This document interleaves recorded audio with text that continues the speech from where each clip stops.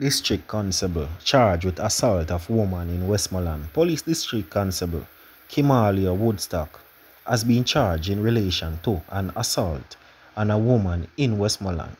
The charge was a result of the investigation and recommendation by the Independent Commission of Investigation INDECOM and a ruling by the Office of Director of Public Prosecution.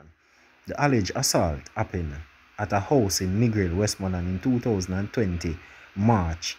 The woman was treated at the Savanna-la-Mar Hospital for injuries sustained. Woodstock was bound, was bound over by the Westmoreland Parish Court. The next court date is set for May the 24th. Boy, this uh, a district council here.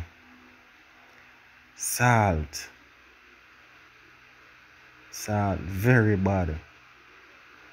But anyway, my viewers, continue to like, share, and subscribe.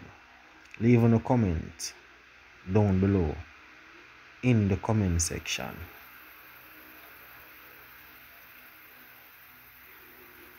Elaine Thompson advanced to 100 meter finals at the Puerto Rico Athletics Classic. Puerto Rico Olympic Games double sprint champion Elaine Thompson-Herah is into tonight's women's 100 meter final at the Puerto Rico International Athletics Classic 2022 after running 11.22 seconds. In the preliminaries, Thompson-Herah time was third best overall and she was joined by compatriot Natalliah Whyte who also ran 11.22 seconds.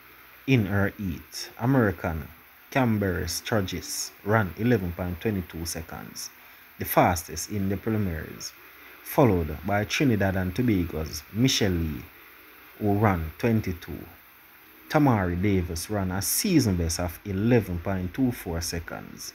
Kayla White also ran 11.24 seconds. Mohaler Lake Atkinson 11.26 seconds and Shania Collins 11.26 seconds. So my viewers, those are just a few updates.